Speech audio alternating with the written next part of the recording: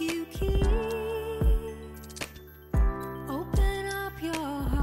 singer got choked up when his oldest son surprised him by performing his song I'll Never Not Love You on the piano.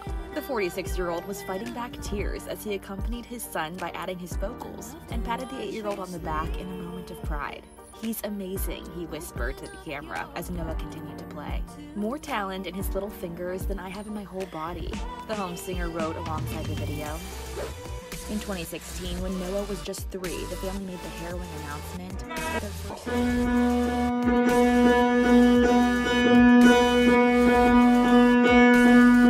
Every time my hand reaches for yours,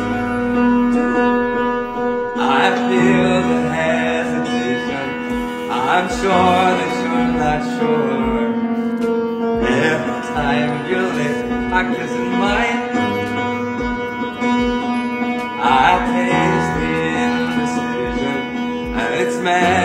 with my mind.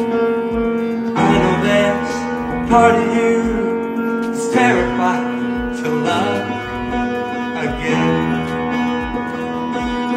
But I promise to the end, I'll never leave you